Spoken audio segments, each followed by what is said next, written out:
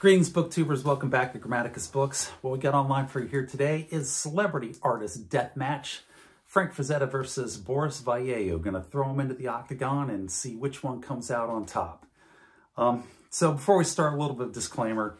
Neither one of these artists is bad. I'm not saying that at all. This is just sort of a fun little uh, exercise to see which one uh, I think is best. I, I, have a definite opinion on which one of these guys that, that I like, that I think is best and I'll tell you why. I'll go through the pros and cons of both, and at the end, we'll crown a winner. Um, and we'd love to hear your guys' thoughts on it as well. If you've got an opinion on it, please throw it into the uh, comments section. I do read and try to get back to uh, all the comments. So what we're going to do today is we're going to take Boris Vallejo, uh, fabulous cover artist, fantasy and science fiction cover artist, and Frank Frazetta, probably the two biggest names in fantasy and science fiction book cover art that are out there. Um, absolutely, I would say that they're the two giants in the field. Both of them are geniuses. Both of them are fantastic. There's no wrong answer in this thing. Um, but I do have an opinion on which one I think is better. So the way I'm going to measure it is we're going to look at the tangibles real quick. I'll take a look at light and shade, color, volume, light sources, uh, anatomy, musculature, composition, skin tones, things along those lines. And then we'll take a look at some of the intangibles as well, such as mood, imagination, um, energy, and uh, just you know how well they're able to evoke a scene. And we'll stack them all up and we'll see which one that we think is better. And we're going to start it off with Boris. Boris Vallejo. And we're going to do the pros of Boris Vallejo. Boris is technically just a superior artist. His mastery of the human anatomy, here's Conan of Aquilonia, is just superb. He's fantastic. He knows anatomy better than almost anybody. And then he augments that with his colors and his skin tones and his lights, his lighting, that he just brings his figures to life, to life in a way that there are very few artists that can compare to it. He's able to give them life and volume by use of different shading with his colors and different lighting on the skin tones. That just creates a realism that jumps off the page compared with his, along with his knowledge of uh, musculature. And that's really his strengths, uh, is creating these really realistic looking figures that have this wonderful skin tone and wonderful color that he puts into his paintings that make them just leap off the page uh, like they're alive. And one of my favorites of his is right here, Conan the Barbarian number nine, Savage, not Conan the Barbarian, this is Savage Sword number nine. I mean, just look at that cover. Look at Conan on there. This is, I think, one of his um, better, more superior paintings that he's done. The composition is wonderful as well. You've got Conan right here in a central figure. You've got a wonderfully rendered uh, female over here below. And then you've got this evil wizard and then the red cape coming down, drawing your eye into Conan. Conan comes back up. He's looking here to the wizard, gets you going around. You've got a highlight up here. And then you've got wizards fading off in the distance, giving you a good background um, to it with dark up top, dark blue into lighter blue to highlight this scene. And it's just superb. That is fantastic stuff. Just sort of an aside, this is Boris on Savage Sword of Conan number one. And uh, it's still, I, I, this isn't a hit on Boris. It's just, man, this is so much primitive, so much more primitive than number nine, that the difference between this painting in terms of his um, his skill level and uh, painting number nine is just extraordinary. It looks like two different artists did this. I still love this. I mean, it, just sets a great mood. But look at look at uh, Red Sonja in Savage Sword number one. She's really badly done. I mean, that's that's almost like a high school level uh, rendering of uh, Red Sonja over there versus this wonderfully crafted female on uh, issue number nine. There's almost it almost looks like two separate artists. But anyway, that's not a that's not a hit on Boris. That's just to show how how much he developed in such a short period of time into an excellent artist. So next one up then is going to be Frazetta. Sort of Frazetta's strengths. Frazetta's strengths are he could really bring mass to his subjects, even though his musculature wasn't as realistic as Boris's. And his ability to take the books and then translate it into something that just transported you there with his imagination was hands down, bar none, the, the top in the field. And then his ability to portray action, violence, and savagery is just without parallel. That one right there, just you've got a muscular guy, but he doesn't look like he lives in a gym, like he got the muscles from working out eight hours a day, five days a week. And there's, there's a brutal violence and savagery just simmering under the surface in there.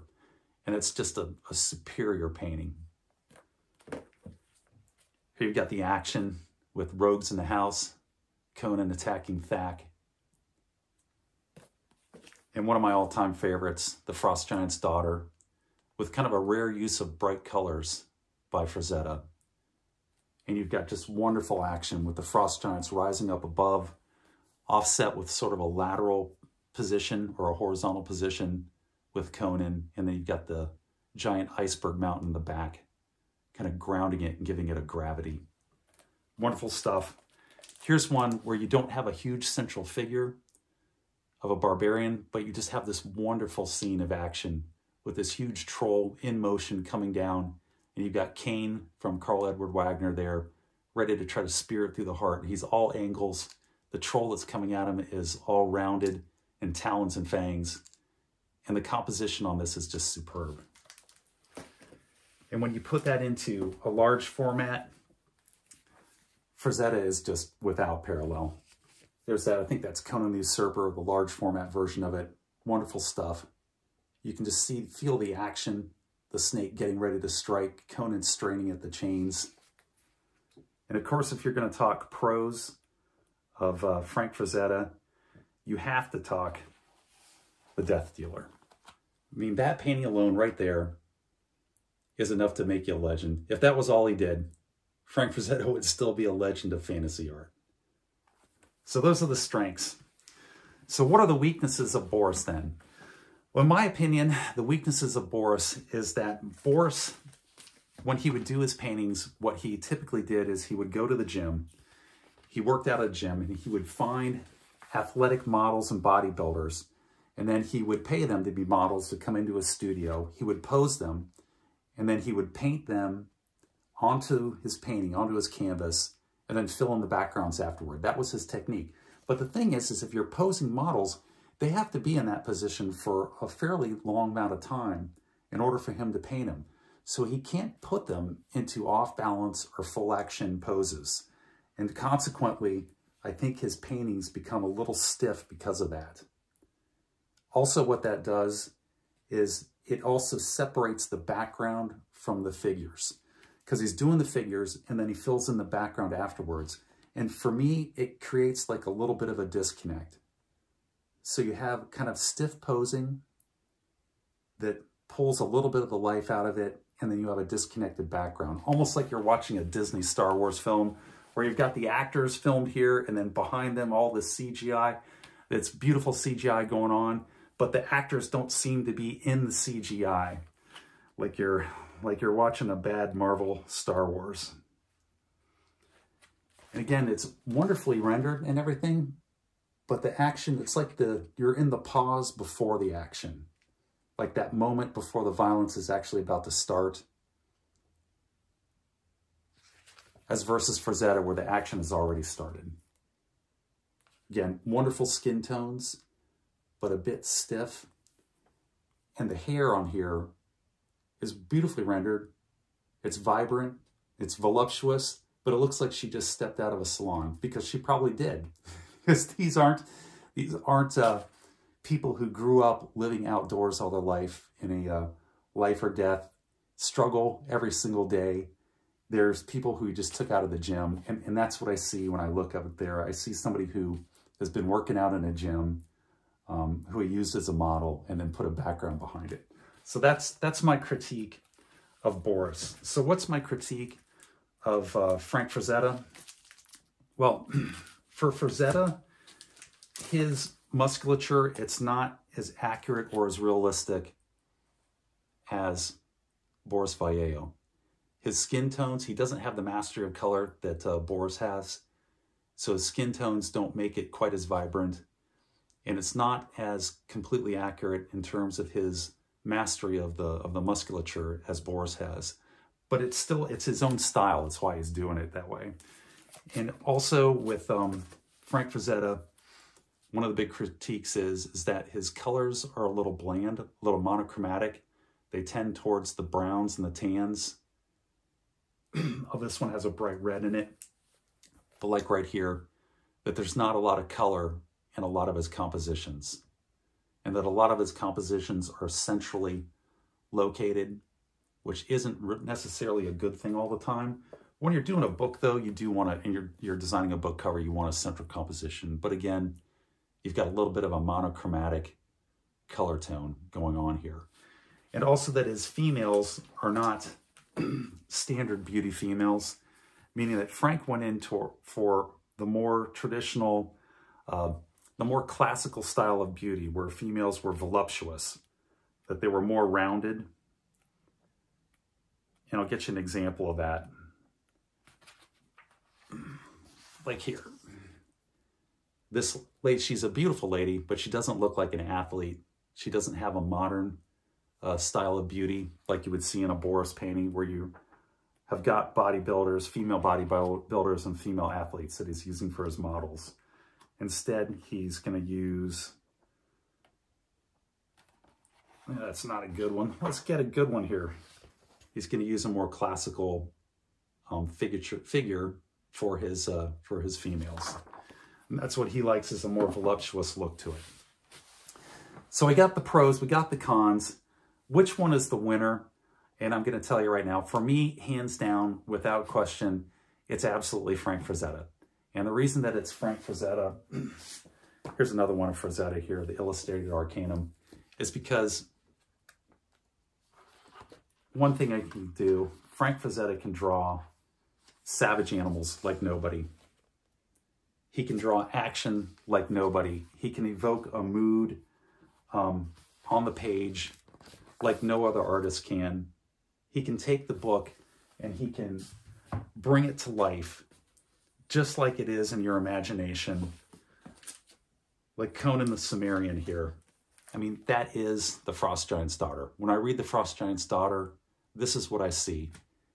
The action's on the page, the savagery's on the page, that tension of violence is always there, and it just comes out wonderfully. And for those reasons, that's why I've got to give the nod to Frank Frazetta here as the better of the uh, of the fantasy artists. But there's a caveat. What's the caveat there, uh, uh, Grammaticus? The caveat is we've got fantasy and science fiction. So here's Frank Frazetta doing some science fiction. And, and I think Frank Frank has some issues with science fiction. He tends to try to take his science fiction posters and turn them into a, a fantasy poster and take the technology areas of aspects of it and sort of kind of crush it into a, a fantasy motif with, with metal. And it doesn't come off quite as well. Whereas Boris, when he does his science fiction, it's the opposite.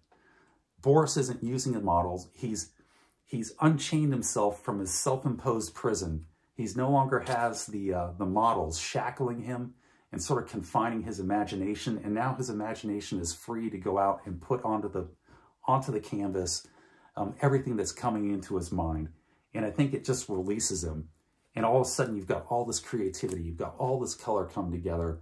And this is just a spectacular um, science fiction cover by Boris. I love this. And most of his science fiction covers are right up here like this one right there. And I will say this about uh, Boris's fantasy as well. When all of, it, of Boris's elements, his strong elements come together, uh, he can do a, a, painting that is the equal of anything of, of Frazetta's. But I think Frazetta does top him in mood and action and savagery and bringing out that element of the story and, and making it real. But I'll put, there's a. Uh, I don't have a copy of it. There's a, a, uh, painting by Boris, I think it's called The Slaver or something along those lines, where a, uh, a slaver is looking at uh, a slave to buy as a guard stands over her. And it's just superb. I think it stacks up with anything with Frazetta. but um, I think Frazetta is the better, in my opinion, um, overall. I'm going to give some honorable mentions out here too. You can't talk about uh, fantasy and science fiction cover artists without mentioning Michael Whelan. That man was fantastic and prolific. You got Larry Elmore with all the Dungeons and Dragons stuff. And I know you're kind of, we're kind of going off into the, the Dungeons and Dragons rabbit hole, but Larry Elmore is a great artist too, who was really able to capture D&D. And then you got Brom, who's also another one.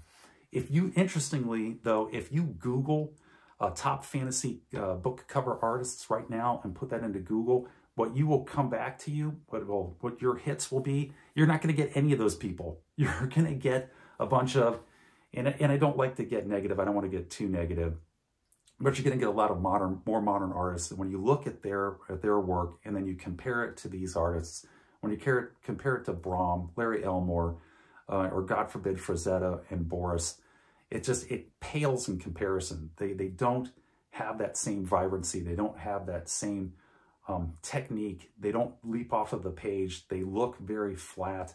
They're not very interesting. Frankly, to me, it looks like a bunch of crap. But I'm getting into a, a subject there. I'm going off on a tangent I don't want to go off into. So these artists are great. I really love them all. They're both great, Boris and, uh, and Frazetta. But for me personally, I've got to give the nod to uh, Frazetta, especially in fantasy. But would love to hear what your guys' take on it is. Please put it down in the comments sections below, and I will take a read. I read all the comments, and I try to respond to all the comments. But that, I think, is going to be a wrap. So take care, be safe, and I'll catch you guys in the future.